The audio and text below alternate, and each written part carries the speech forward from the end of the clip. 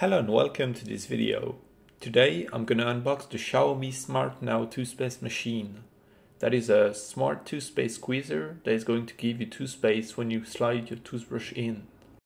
So looking at the front of the box you'll find an image showing the active toothpaste machine with some Chinese description.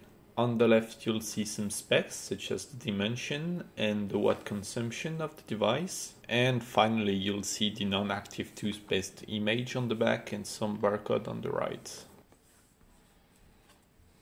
So to get started we're just gonna open the box with a knife.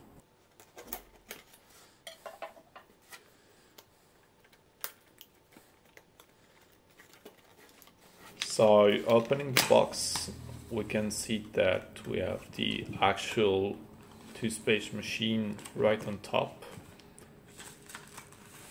It is covered by a plastic bag.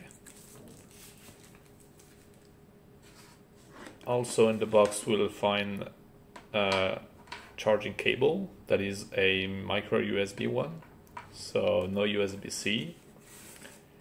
And finally we have an instruction manual so the instruction manual is in Chinese, but we can see the illustrations.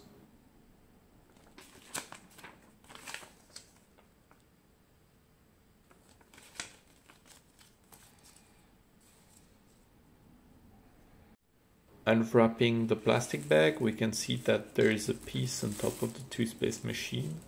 It is actually a wall holder for this device. Looking further the machine, the top hole is here to plug a regular toothpaste in. On the front there is the hole where we're going to slide our toothbrush to get the toothpaste. At the back there are two holes for the holder and behind the small cover there is the charging hole. Finally, under the toothpaste machine you can see the power button. I hope you guys like this unboxing. Don't forget to leave a like and subscribe if you did and stay tuned for the upcoming review.